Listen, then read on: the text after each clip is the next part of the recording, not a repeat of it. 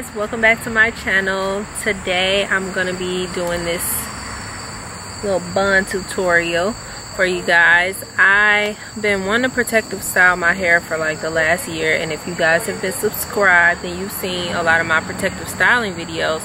And so I wanted something that was a little bit more realistic for my bun because I usually use Marley hair. But I don't know, like it matches my texture, but you can still kind of tell that it's like a bun sitting on top of my head and it's not my hair. But this is a little bit more realistic because for one, it's human hair and for two, it's a drawstring ponytail. I'm to show you guys how I got this look and if you would like to see, then just keep on watching. I found this drawstring ponytail on Amazon. Um, is a clip-in ponytail and it's 14 inches and a afro kinky texture and it has two combs with the drawstring in the back. I started off by co-washing his hair with lukewarm water and let me tell you guys how soft this hair is. Oh my god, it's so soft. I was so shocked. I was I expected it to be li- at least a little dry and a little crunchy, but no. It's really really soft. So I started by co-washing it with my Aussie Moist conditioner and I really like this conditioner. So I lightly finger detangle with that and I didn't get a lot of shedding. Um, I did get a little bit of shedding, but that's to be expected because it is an Afro kinky texture. But like I said, the shedding was very, very minimal.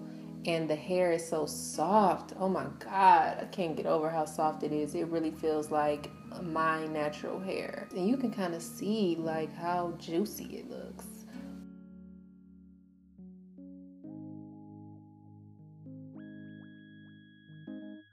And so this is my hair, freshly washed. It's actually a little damp still, which is kind of why it's so chunky in these twists. And I'm just gonna start off by putting my hair in a ponytail, which can be quite a task itself. But I'm using my flaxseed gel. Um, I would usually use Eco Styler gel, but I'm trying to go the natural route, and I think that my hair really likes flaxseed gel. So I made some. And if you want to know how to make flaxseed gel, I will link my video to um, how to make it in the description box.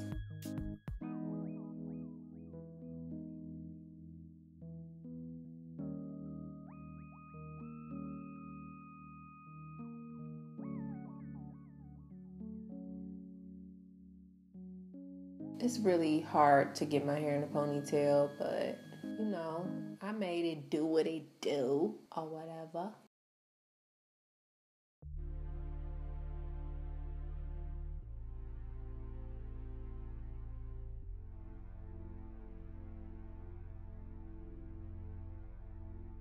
So there, that's about as good as it's gonna get with some flaxseed gel anyway. So I just put my scarf on it to lay it down for just a little bit not really letting it dry, just kind of forming it with the scarf.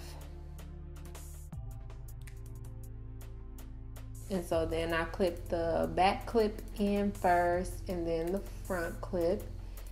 And then you just pull the drawstring tight and wrap it around the ponytail so that it's hidden. You don't want anybody seeing that because that would not be good and then I just tuck it in on the side.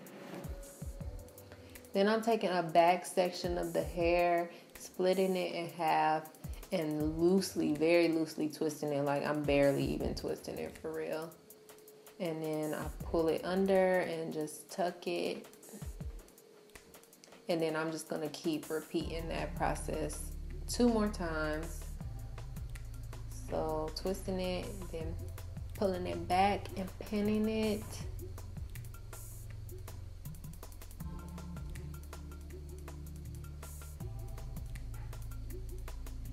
And then one more time, just twist it. Well, I really didn't even twist that part, just a little bit. And then place it where you kind of want it to go and then pin it. And then after that, you can just like fluff it out and place it where you want it to go. Make sure it looks full enough. And then you gotta brush them baby hairs if you big on that. I'm not really into the baby hair thing, but I did a little something. I ain't put no gel on there. Cause I ain't got time for that. Y'all know I'm lazy, lazy natural. Brush that back up a little bit. My little bugs don't be trying to poke out. And this is what it looks like. I absolutely love this ponytail. Um, it was only $40 and like I said, I'll put a link to it in the description box so you can check it out. So guys, if you did like this video, make sure that you give it a thumbs up and hit that subscribe button if you want to see more videos like this. I'll probably be putting up another video using this same drawstring ponytail you doing a different style. So if you want to see that then make sure you subscribe so you can get the notification when I do upload it. And I'm gonna get out of here. I'll see you guys in my next video. Bye